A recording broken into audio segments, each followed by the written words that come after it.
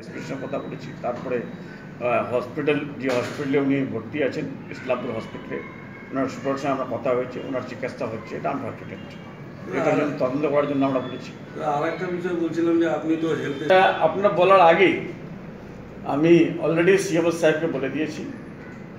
আমাদের ওখানকার লোকাল প্রধান আছেন প্রধানকে আগে ডেকে নিয়েছি। প্রধান ওই স্টলটা বন্ধ করবে। আর যদি বন্ধ না করে তাহলে প্রশাসন আসবে এসডিও আসবে। এসপি আসবে এসডিপিও আসবে ওটা বন্ধ হবে। এবং সবচেয়ে বড় আশ্চর্যের বিষয় যে তাকে যখন আমরা ওখানে বলতে যাই যে আপনার ল্যাবটা অবৈধ আপনার সামনে সিএমএইচ এর সাথে কথা হচ্ছে সিএমএইচ বলছে কিছুদিন আগে আপনাকে নোটিশ করে গিয়েছে বন্ধ করার জন্য। তারপরে উনি বলছে আমি মন্ত্রীর লোক আপনার যা করার না আমার কোনো লোক নাই আমার সবাই। উনি বাইরে থেকে এসেছেন চাকরি করার জন্য। চাকরি সেফলি করতে পারেন তাদের আমি ব্যবস্থা নিতে পারব। ও যদি ইলিগাল করতে করে থাকে ওটা আমি ব্যবস্থা নিতে পারব না। ওর এগেনস্ট ব্যবস্থা নিতে নিতে পারব একাধিক পেশেন্ট হসপিটালে আসে মনে করে দেবো। ওটা গিয়ে আমিও মাঝে মাঝে যাব। ওখানকার স্থানীয় ডিএমএচের এগেনস্টে অনেক কথা শুনেছি কিন্তু ডাক্তারের ঘাটতি আছে। আমাদের পশ্চিম বাংলাতে যখন দিদি মুখ্যমন্ত্রী হয়েছিলেন আমাদের মাননীয় মুখ্যমন্ত্রী মমতা ব্যানার্জি সেদিন ছিল শুধু নয়টা মেডিকেল কলেজ নয়শো পঁচপান্নটা বা এক হাজার সিট ছিল। আজকে দুই সাত বছরে সিটস উনত্রিশশো হয়ে গেছে আমাদের।